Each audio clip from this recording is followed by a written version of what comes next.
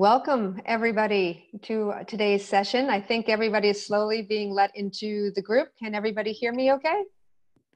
Thumbs up? All right, fantastic. I've had some tech problems today, which is always fun when you work in tech and have multiple laptops and other items at your disposal.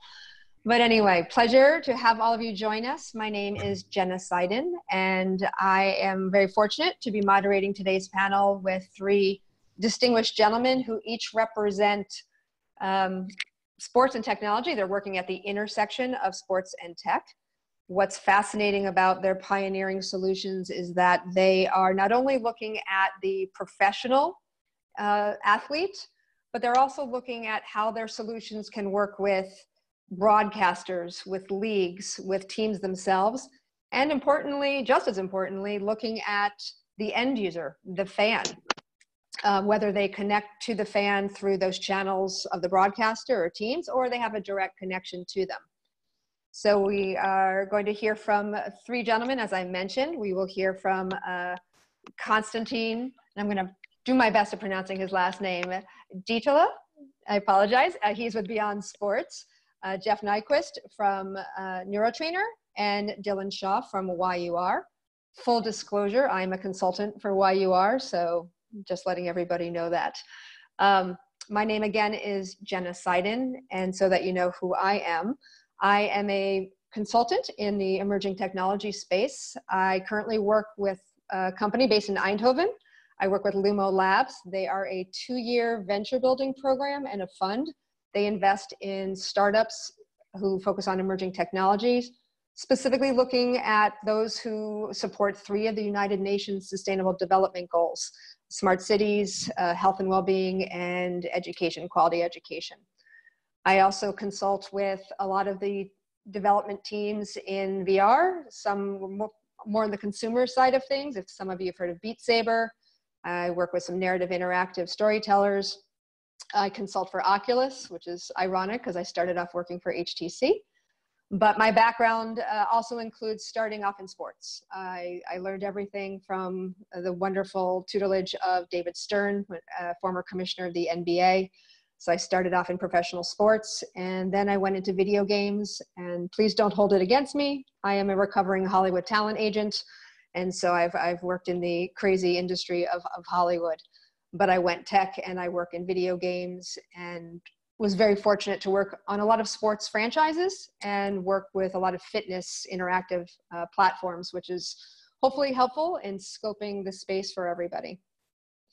So what I plan to do is give you a very brief context of the VR market and some of the topics that I would encourage all of you to consider as you hear from Constantine, Jeff, and Dylan today, because it's very important to look at where they started in a pre-COVID world and where they are today in this COVID upside down world where we are, and then it's anyone's guess where we go in the future. These companies have wonderful solutions that stood on their own prior to COVID. They focus on performance and professional uh, enhancing optimization uh, of athletes' performance, but they also are looking at you know how they complement the current sports ecosystem. But where we are today is are they going to fill the void? Are they now going to become the replacement for where we are since leagues have postponed or shut down? Or it's a whole new way for fans to engage since of course fans can't go to events. So it's important to look at each of these companies from their professional b2b business and their B2C, because I'm assuming everybody here who's joining us today is going to use that information to inform the types of partnerships that they are looking for or how to amplify current partnerships that they are looking to do. So let's look at it from, as we go into these discussions, from a training perspective, from the fan immersion perspective, and then again, how we apply those two partnerships that we're going to go into. So let's just briefly start with um, the athlete themselves. What solutions, what products and services do each of these three companies represent that can really help athletes, teams with both physical performance and mental performance. And we're going to hear about some very interesting um, visualization, uh, AI-based visualizations that uh, Beyond Sports does. We're going to hear specifically about a lot of the neuroscience behind neurotrainer and that mental well-being and from dylan as he talks about some of those biometrics what are those traditional and what is the future of biometrics uh, from these gentlemen. But really we're thinking about on the training side every inch matters uh, to an athlete. Every second matters to an athlete.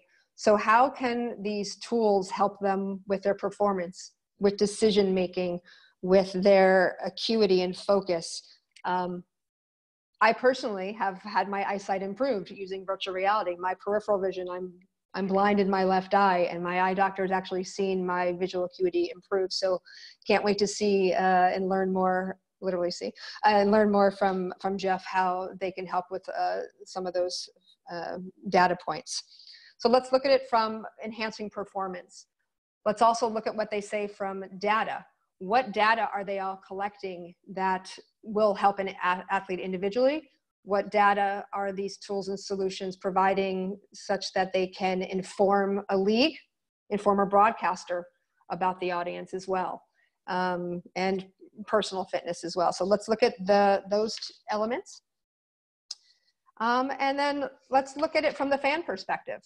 We're talking about VR simulations what is it that a fan's going to care about because they can't go to a live event? What are those social features that represent um, that camaraderie, that community that we need to think about? So I think it's very important that we look at those VR simulations uh, from the fan perspective, um, but also going back to the athlete a little bit, something that I think the gentleman will touch upon is, especially with Beyond Sports, when an athlete is training now by themselves at home what is the difference between uh, improving your performance and training in a room in your living room uh, versus going into a gym? If they can go into a simulated environment it's not only being able to use it from a virtual playbook perspective and seeing how they can you know apply a, a certain play but also what are those distractions? What is about the noise? Can they simulate everything that's going to be happening especially when the olympics are, are involved? You've got fans noise sponsors media. There are a lot of things that need to be simulated. So again from the training athlete side to the fan side we have a lot of inputs and variables that everybody here needs to to approach. So what i'd like to do now if Milena will help me since uh, my computer's not working wonderfully is do a quick Marketplace 101, if we can just go to the first slide, if you wouldn't mind, that's sort of the last one. Wonderful. So just to scope everything for everybody, you can go to that next slide.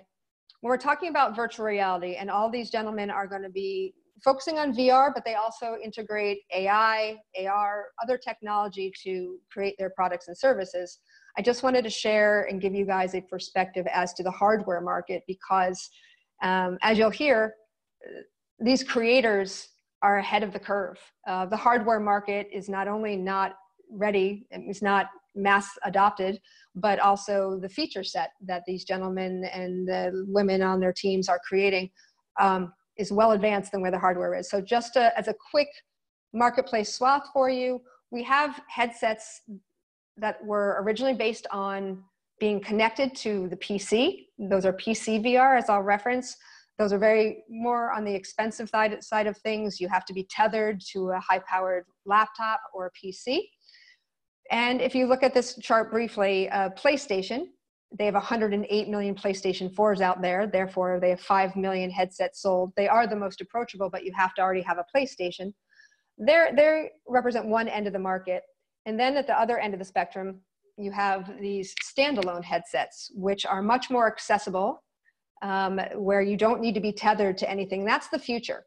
And so it'll also be interesting to hear from uh, the panelists as to how they are developing and how they will, you know, get these headsets into the hands of the athletes and the consumers because there are friction points as to the technology and as to the um, just availability and the, you know, ability to move. So if you can go to the next slide.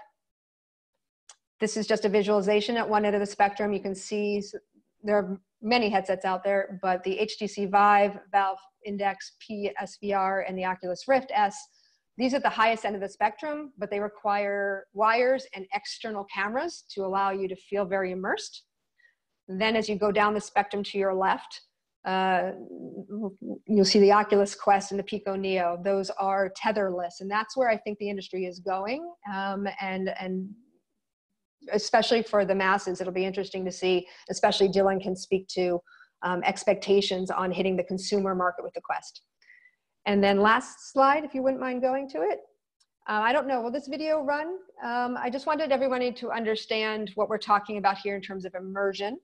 Um, if you want to play the video, does it work? Let's see if it works. Okay, it's not working. it's probably from a PDF.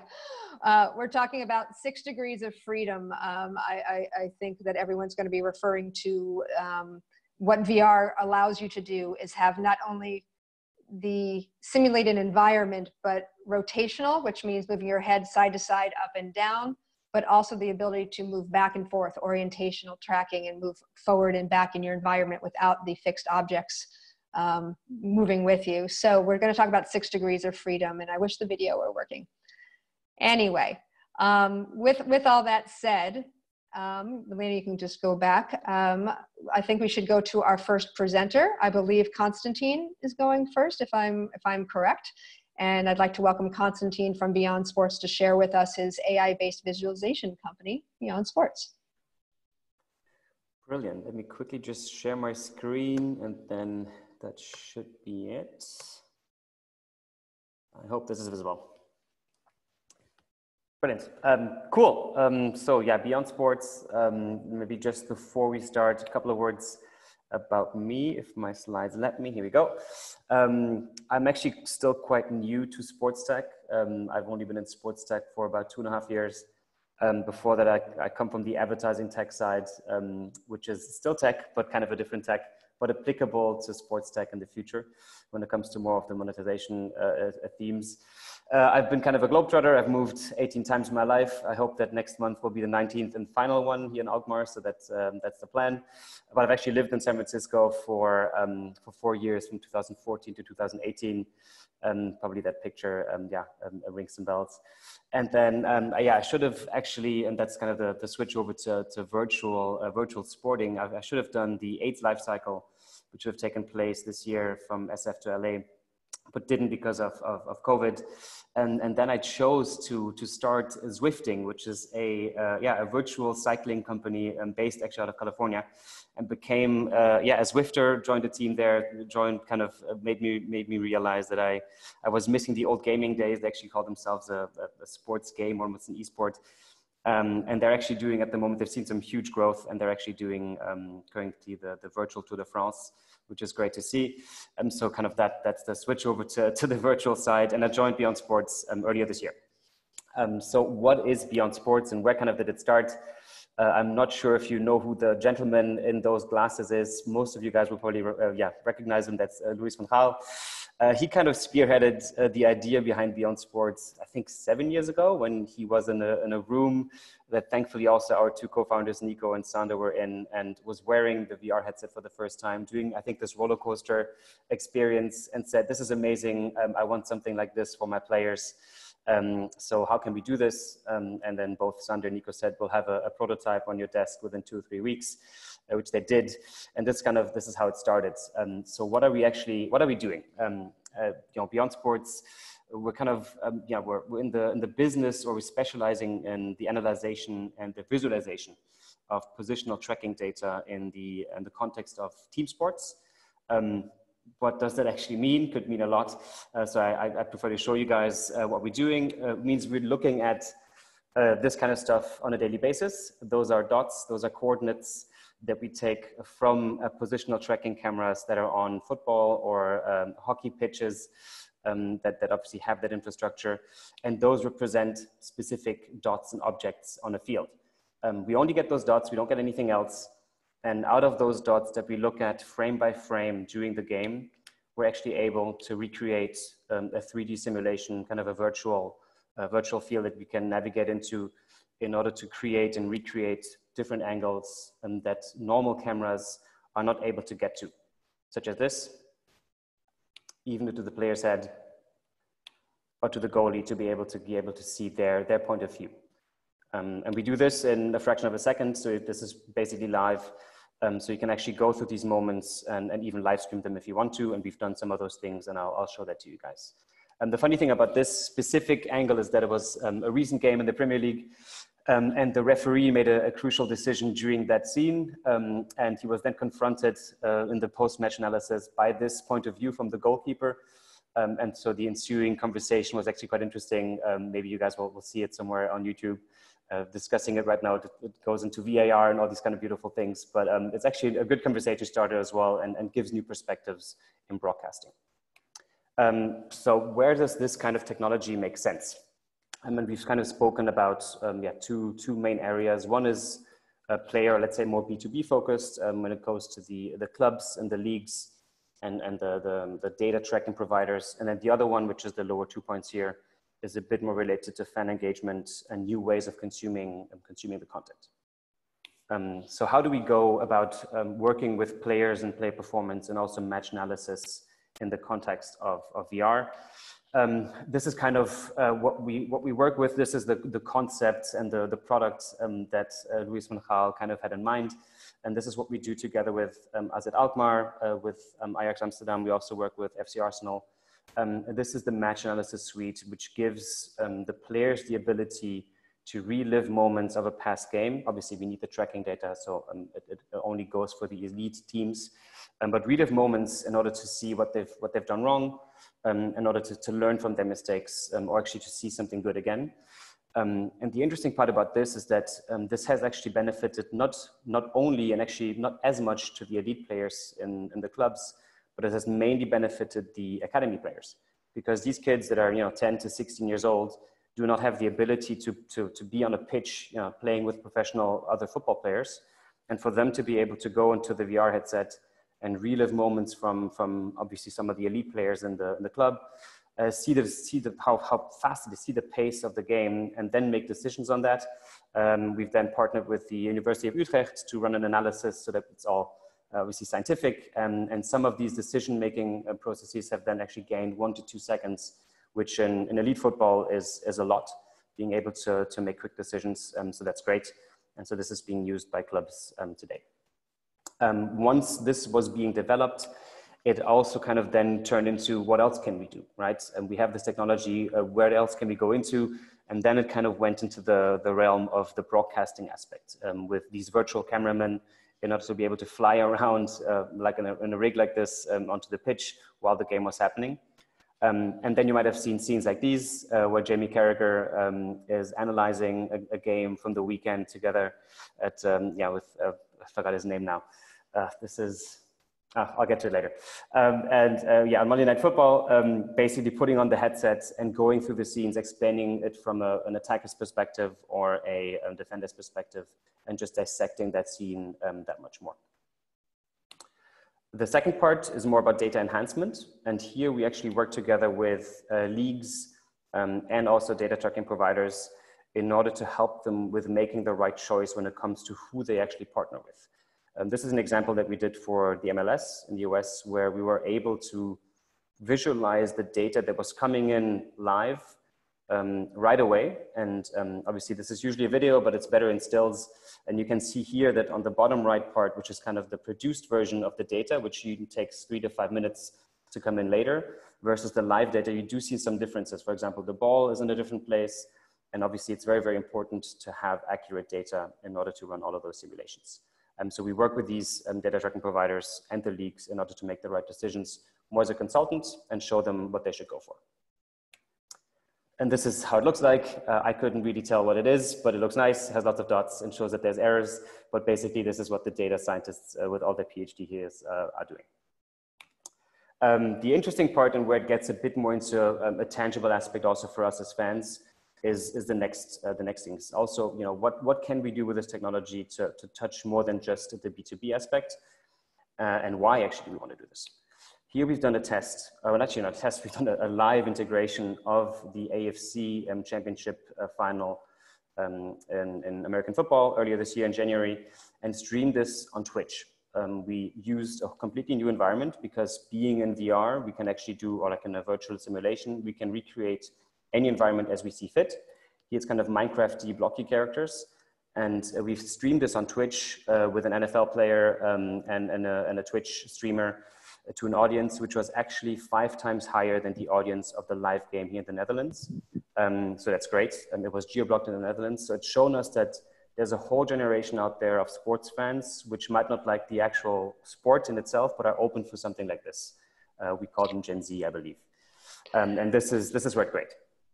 Konstantin, I'm going to respectfully ask you to wrap up a little bit so we can ask some questions and make sure everyone gets to ask you how long it took you to do the partnerships with the arenas and the leagues and all of that. So we're going to jump to Jeff if you can just wrap up. Absolutely. Uh, there's a couple of more examples, but I'm happy to go into those later. We can do fun stuff like this where players fly into the air. Uh, we can recreate scenes looking more at uh, yeah, 300 because it's virtual in order to apply or like make it more appealing to a younger audience. And the main important aspect is we want this to get into the hands of the fans to be able to do the same things, zooming in, zooming out, being able to see new content of, of past games, and also have fun with it, apply filters, um, use uh, label filters uh, for them to play with, um, so that then in the end they have an experience that they can actually create clips themselves and then share them uh, with others. That's it. Wonderful. Thank you so much. So we've all seen how they started off from the B2B space working on um, the, the, the team and the player side, and then how they've translated that and scaled that to the fan side. Love to introduce Jeff from Neurotrainer, and he can explain how they were really early to the market and uh, how they're going to keep up with uh, the world that we are living in today. So Jeff, to you. Great, thank you. Nice to meet everybody. So I'm going to share my screen. Okay, can everybody see that? Excellent. Okay, so my name is Jeff Nyquist. I'm the founder and chief scientist at Neurotrainer. Uh, my background in training is in cognitive neuroscience. I was trained at Vanderbilt University and uh, we spent about 10 years exploring neuroplasticity um, in more health related activities. Um, We've published research showing improvements in recovering vision for visually impaired populations. We have exciting results for dementia, uh, concussion recovery, ADHD. Um, but as a company proper, uh, we are a product devoted to the idea of athletic development. So what we're talking about here is mostly the cognitive side of athletic skills uh, great athletes have always displayed wonderful abilities uh, between the ears, quote unquote. With, um, you know, for example, Steph Curry is in an environment of basketball where there really isn't right and wrong decisions. There's good, better, best decisions. And he and many of the elite players have an uncanny ability to see the great decision quicker. Uh, athletes talk about being able to slow the game down and literally see the stitches on a baseball as it's being pitched at them. Um, we have great performances by great soccer players who seem to be able to have eyes in the back of their head and be uh, at their best even when it's the most pressure situations. These are more cognitive abilities. Uh, there's certainly a blending of physical and cognitive, but neurotrainer is uh, kind of cracking open the black box of the athlete's uh, mental skills and addressing these. The issue up until now is that most athletes don't get access to a great sports scientist or a sports psychologist or an IMG academy. Neurotrainer allows the ability to have um, world-class neuroscience and, and training skills inside these VR headsets where you can train from anywhere. And so what we're talking about is really steeped in rigorous cognitive neuroscience, which includes vision, it includes um, focus, it, it includes the ability to get into a flow state more frequently than the other guy or the other gal and have effortless perfection of performance. Um, these are skills that are becoming more well understood primarily through fMRI studies of brain imaging, where we, we know what tasks light up what networks of the brain, and therefore we can develop those tasks to pinpoint and activate those networks in the brain that are responsible for those specific abilities. And just like any athlete that focuses on practice and getting into the gym, these are repetitions that practice makes more perfect. So very briefly, the, the product is uh, currently on the Oculus Quest. That is the best in class piece of hardware. Um, our enterprise teams like the mobility and the ease of use. Um, it can be used anywhere. Uh, it's designed to meet the athlete where they're at. Uh, so we adjust in real time every, well, every eight seconds or so to the athlete's ability so that it's always pushing them but not overly frustrating them. And one key aspect is that it's fun. Um, they're actually in there competing against each other, which we we kind of differentiate from many products that sit on a shelf. Uh, uh, the guys and girls will put the headset back on simply to get back in there and beat their colleagues. Underneath the hood, we have a team of engineers that have spent uh, the lion's share of two and a half years developing the infrastructure to collect uh, a plethora of data. And so this is specifically around the behaviors of the athlete that indicate the cognitive abilities. Uh, most cognitive neuroscience, unless you're in an MRI tube, is behaviorally based measurements. Um, we also include the physicality of the athlete, and then we include the actual physical environment that they're interacting with.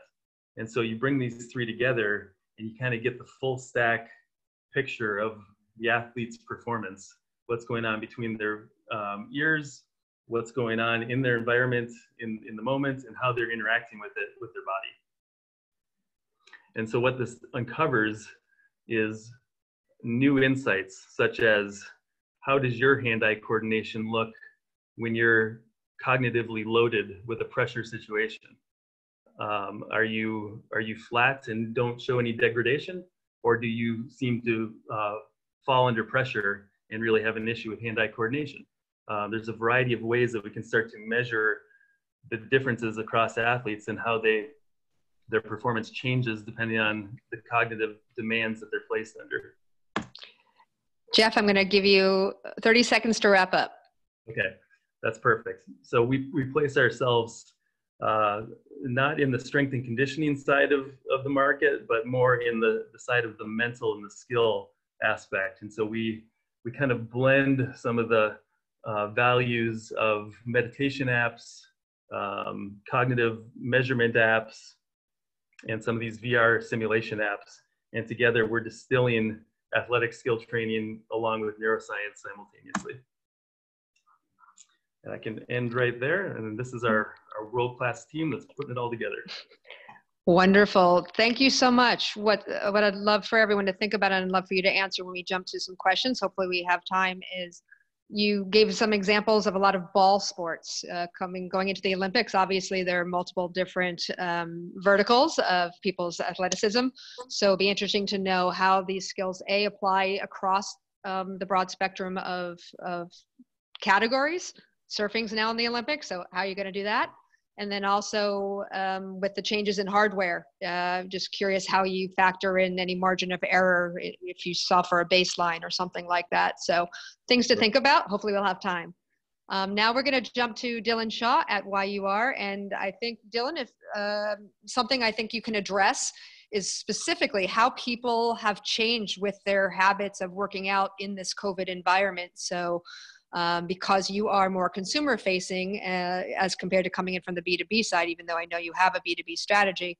It would be great for you to touch upon what you've seen in terms of usage or how people, ha- um, and anecdotally, what you've seen people do to accommodate this new new normal, as we say. So I will leave it to you.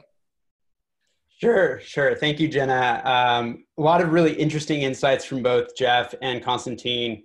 Um, really, really uh, proud to be joining you today because there's so much relevant sort of intersection among our three companies. Um, so my talk's called Movement Goes Immersive, and I'm co-founder and chief product officer at YUR, and we make games a workout. And so basically, we have 100,000 plus consumers using our product in market right now. uh, essentially kind of the market's le- leading solution for quantifying your movement data on the virtual reality side, um, expanding out into AR. Um, so this is about the closest I've ever been to the Netherlands. Uh, this is the Dutch windmill in San Francisco uh, down there after a bike ride. So I just thought I'd throw that in there. Uh, I did travel the world extensively uh, with my previous company, Virtually Live, which is not dissimilar to Beyond Sports. So I really want to cover sports media and VR from more of a macro perspective before getting into the nitty gritty of what we're discovering here at YUR and my current work experience. So this is a snapshot of uh, the, my previous company. Uh, I think one of the really salient details to note is that what you're seeing here is a virtual recreation, not dissimilar again to what Beyond Sports is doing, uh, of a real sporting event. And through our trials and tribulations at Virtually Live, um, you know, you realize that it's very difficult to have FIFA level quality graphics of a human character you know, doing this sort of real-time computer graphic simulation of a sporting event, it opens up the new uh, sort of fan engagement that you are looking for uh, as a broadcaster, as a sports organization, as a club, where the user gets to go in and choose where they watch the event from, but there are trade-offs, right? And so even still, even with the cutting edge virtual reality systems like the Quest, you're going to come up against detail um, kind of challenges. And so this is an overview of the virtually live process. Again, there are other providers in the market. So like some of the other virtually live uh, sort of uh, ecosystem, uh, beyond sports ecosystem, uh, some of which have found uh, acquirers, uh, Intel and Apple, both interested in debatably the more, more of the digital rights side of things here. but everyone here kind of using some sort of sort of media fusion to give the fan a real-time cutting edge technology experience where they can choose where to engage the sport. Um, and a note about my discoveries is working as the global evangelist at this previous company was just that, you know, sensor technology is constantly evolving. There are many catalysts for that technology. Uh, here is just a brief overview of some of the sports technology tracking providers that you can go to and get like an out of the box solution um, so you don't have to reinvent the wheel and you can focus on the aspect that you're really trying to solve for for your organization uh, at, at Virtually Live, we partnered with Stats for the soccer product. And then we moved over to Formula E eventually because it solved many of the challenges. Um, but you know, even still with Formula E, I was seeing that the cars were kind of moving and jumping all over the place. Um, you know, I, have given thousands of demos, and the thing is, people were always blown away by that product, but they never converted to real users just because of the high barrier to entry for virtual reality as a technology. And then finally, like live sports digital rights is a conundrum for VR because you don't know if you need to carve that out of the live sports that have already or live live rights that have already been sold as a digital package, right? So let's get into like more of why I transitioned to are and where we are today as an economy. Uh, we're seeing a clandestine move towards tracking everything the, the amount of minutes you're, you're spending standing a day you know your sleep quality um, everybody is on the latest and greatest uh, with Apple Health or you know Samsung Fit, uh, Samsung Health or Google Fit, uh, and these data stores are giving healthcare providers a better snapshot of how you live outside of the clinic. Um, and so around the time I was working at my last company, I realized, and you know Jenna has experience with this, Beat Saber, which has sold $50 million worth of VR content at this point, um, you know, is a really active video game. For those of you who are on the call who aren't familiar with Beat Saber, it's the number one best-selling game. And similar to sport, you're distracted by how fun it is, but you're getting a workout in, you know, and its biomechanics may not be perfect from a, you know, from a strength and conditioning standpoint. But the important part is you suddenly got this new population of people who hadn't really engaged in fitness suddenly coming online, right? So why is that? And you know, like you kind of look at it and where where the market is right now, and you realize like with shelter in place people do have that mental barrier um, if you're not an athlete at the highest levels just to get up and get engaged get going um, and that rate of perceived exertion is proven to be much lower in a virtual environment that's more immersive right um, and so YUR right now combines gaming and fitness um, by building a world-class um, you know interface inside of any game. So over 9,000 games and applications have been tagged to date. Um, you know over 100,000 consumers using the product. And what you can see here is that we're trying to blend the, the, the interface of the future. What I mean by that is we're using skeuomorphic design to showcase, you know, your calories, your stats, how many squats you're doing in a, in a space, all at your wrist, which is already the comfortable, more, more comfortable kind of interface for those data, data metrics in the real world. Um, and then on the B2B side, we're actually licensing this technology to Fortune 50 companies. And how do we do this, right? So basically we have this leading community of users that's willing to, um, you know, in, you know, kind of provide us with their base heart rate monitor data. Um, and we, we run our own machine learning against the acceler acceleration and velocity values coming out of these IMUs um, uh, that you can find in most of these virtual reality headsets on the market. We do that all behind the scenes and then present to the user their calories burned, uh, their estimated heart rate, squats, other movements that they're doing, and you can see here um, in terms of Jenna's initial ask, like steady usage increased right the way through February and March when COVID kicked off. Um, and I think the reason why it's kind of more anti-fragile to the sort of coronavirus, if you will, is just because it's plainly speaking something you can do in a living room, right? So uh, with that, I'd like to close and you know transition the floor back over to Jenna. Thank you so much. Thank you so much. Thank you to all three of you. Um, I have a couple quick follow-up questions, and if anyone in the community tuning in has any, please feel free to pose those. I'm going to go back to Constantine. Uh, Dylan brought up the myriad of issues of rights. So looking at the Olympics, um, can there be one official VR streaming partner if you were to become the official partner of uh, whoever holds the broadcast rights? And do you have to then have a separate agreement? Uh, I think the next session after us is about uh, smart arenas, uh, sustainable arenas, and things of that nature. So, my question to you, Constantine, is do you need to do rights with the actual physical arena, the team, and the broadcaster? How quickly, how, do, how does that um, structure work if you were to go in and want to approach um, everybody, all the stakeholders involved in the Olympics?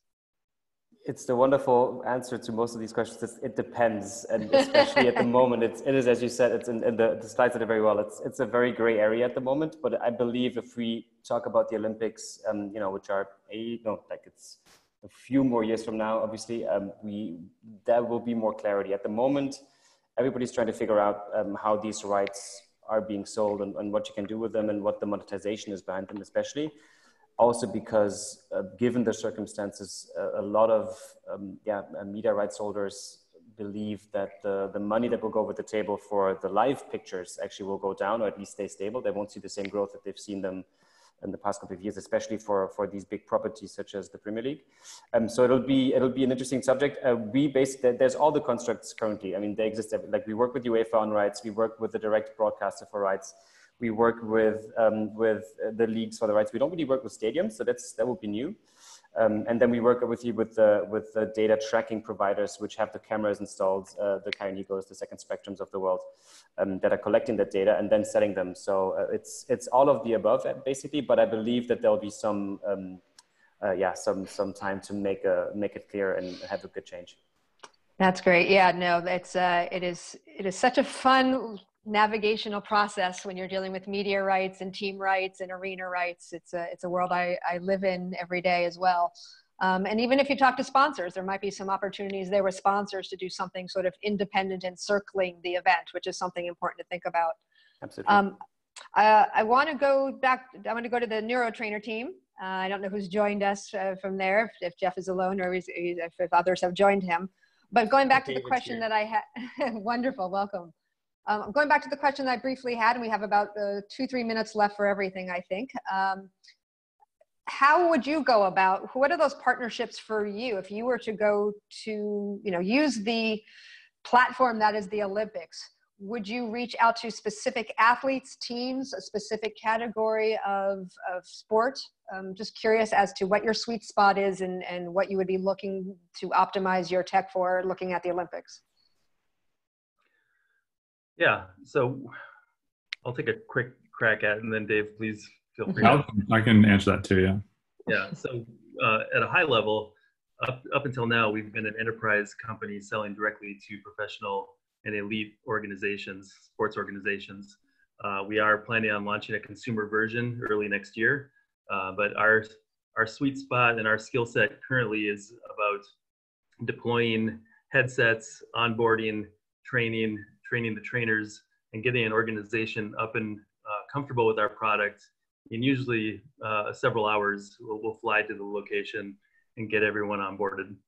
Um, and so, in terms of the sports that we feel comfortable with, you know, the the sky's the limit uh, in terms of, you know, we're not trying to give specific sports simulations. Mm-hmm. We're, distilling, we're distilling down the experience to be challenging athletically and cognitively. So if you are in a sport where it's important to stay poised under pressure and focused, if it's important for you to have awareness of your surroundings and peripheral vision, you know, this applies to a lot of different sports and there's a variety of ways that we can improve the athletic skills for different sports. Have you seen the uptick as well, like Dylan has shown in his graph, uh, as to people wanting to adopt your services during during COVID? Now that they've been training at home, or however, you know, if they're at the NBA down in Disney World. Curious, have you seen differences in adoption of your product or or interest? Yeah, at the enterprise level, it's definitely went on pause immediately and slowed down. But the direct to athlete from those sports organizations uh, drastically increased, and so we were one of the few ways to stay sharp from home. You know, Steph Curry had to buy a basketball court and install it at his house because he didn't have one. you know, there's there's a, a, surprising level of limitations that these athletes were running into from home, and we were able to fill that void pretty quickly. Wonderful, um, Dylan. I'm going to jump to you, so we get a question in for you. Looking again towards the Olympics, you guys are a platform play. You don't have your own uh, experiences or proprietary experiences, if you will.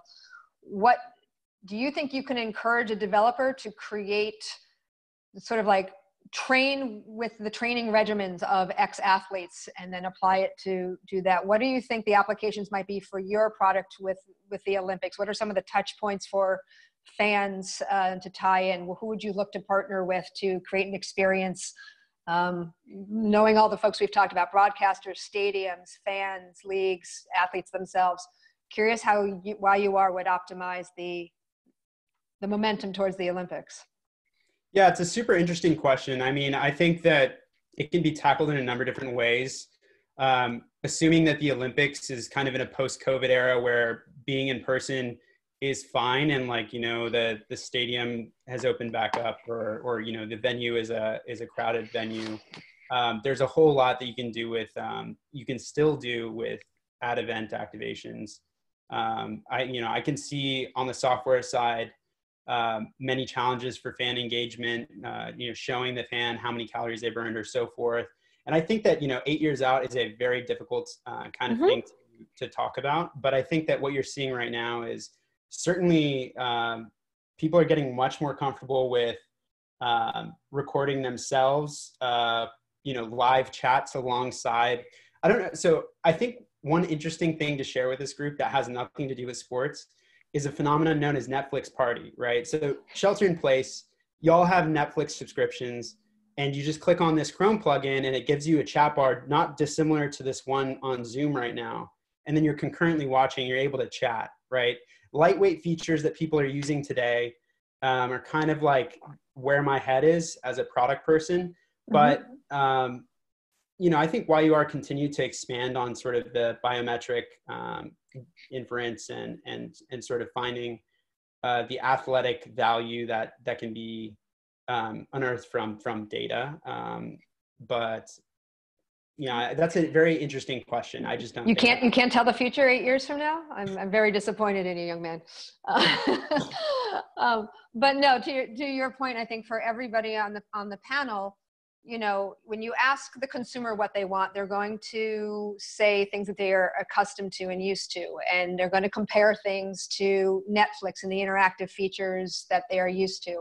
Um, it's going to be a very interesting decision on all of your parts as to what what are those interactive features for the consumer because remember you know there are passive folks who just want to watch a stream there are folks who are leaning forward, and then there are people who are falling off their chairs, hungering for interactivity.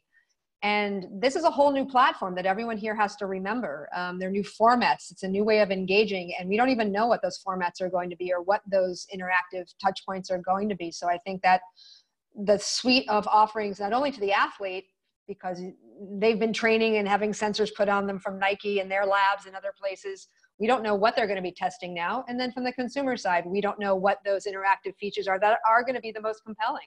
It may not be photorealistic imagery. It may be simulations that are very stylized. They may want to have a Netflix party and watch. They may just want to do fantasy sports and esports and bet on these folks, which is also who knows what's going to happen in eight years. But yeah. uh, on that, yeah. So if anyone has any final thoughts, I think we're going to wrap up in the next uh, 30 seconds or so and move on to the next amazing session. But any any closing thoughts, Dylan? You look very poised to. I do. I, I wanted to also share one thing that was really unique about Formula E, um, Formula Electric, right? That that electric racing championship mm-hmm. was they were on the bleeding edge of doing something around fan engagement where your your average viewer could actually vote for a driver to get a boost in the middle of the race mm-hmm. right and i think you're going to see that trend continue and expand expand and broaden across other sports where you get that ability to impact what's happening live so but that crowd yeah the crowdsourcing or helping the decision making um, and it might even impact the actual data that you know jeff and team collect as to oh hey i've learned right. this or or you know constantine's figured this out because they've looked at the playbooks the athletes there but at the same time what does the fan want and how much does that play into the theater of it all? So there there's so many different ways to look at it. Um, but gentlemen um, thank you so much for joining us today. Thank you everybody who's tuned in.